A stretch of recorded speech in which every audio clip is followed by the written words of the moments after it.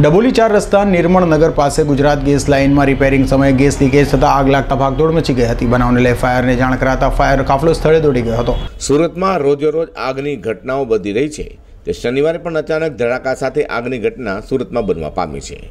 વાત કરી રહ્યા છીએ ડબોલી વિસ્તારની. ડબોલી ચાર રસ્તા નિર્મળનગર પાસે ગુજરાત ગેસની લાઇનમાં રિપેરિંગની કામગીરી ચાલી રહી હતી. તે સમયે અચાનક જ ધમાકા સાથે બ્લાસ્ટનો અવાજ થતાં લોકોમાં નાચભાગ મચી જવા પામી હતી.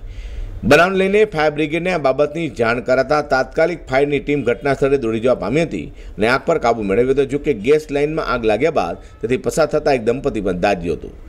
જે ધડાકો અત્યારે સામે થઈ રહ્યો છે, તેની અંદર રોડ ઉપર હાલ જ્વાળાઓ જોવા મળી હતી, જેને કારણે લોકોમાં પણ હાલ ડરનો માહોલ છવાઈ જવા પામ્યો છે. અઝર કુર્સી સાથે પ્રકાશવાળા.